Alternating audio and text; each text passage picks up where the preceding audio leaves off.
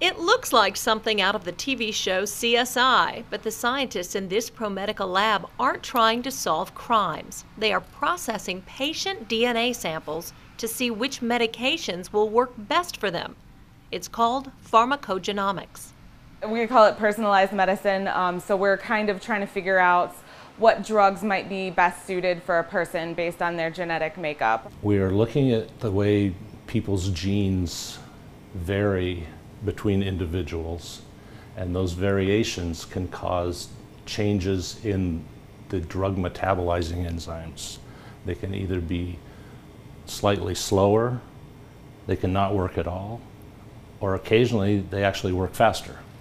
And that metabolism determines if the medication will work for you.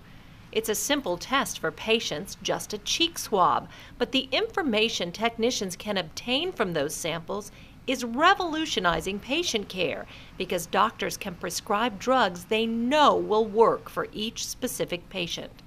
The biggest benefit for the patient is that they're stabilized faster.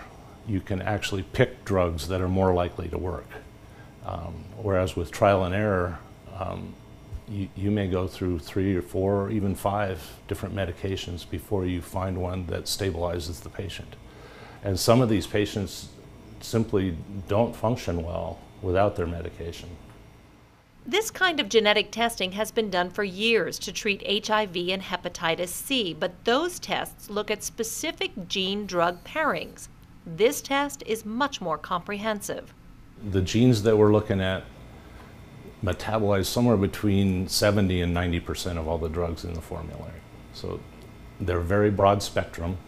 So far, psychiatry patients have been among the biggest beneficiaries of pharmacogenomics. In the past, doctors used their best guess about which medication would work. But because it can take two to three months to see results, patients often get discouraged and just stop taking them. Most of them do. And then they fall out of the system. That's how they deal with it. Some of them have good relationships with their physicians and they come back and tell them. A lot of them don't. So this test opens that road up of it's more um, personalized now. So it's about the person, the patient in front of you. The test costs anywhere from $1,800 to $3,200, but Dr. Janjua says there is a growing number of insurance companies willing to cover it because they understand it could ultimately save them money. Think about how much it would cost a person to end up in the hospital. So uh, the wrong antibiotic, the wrong painkiller, or the wrong antidepressant can can have very adverse outcomes. And if you can save that, that's thousands of dollars. Outpatient is cheap. Inpatient, even a week is $50,000 or 40000 That's a huge sum of money, and they understand that. Pharmacogenomics is a relatively new science, started in 2006. But ProMedica scientists are excited about the work they're doing today and the possibilities for the future. We would love to be able to have it as more of a preventative, so it's done ahead of time before the patient ever needs to be put on any kind of medication.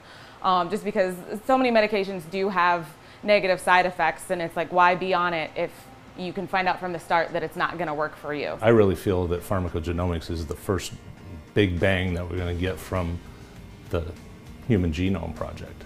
It doesn't get any more cutting edge than this. For ProMedica Health Connect, I'm Chris Peterson.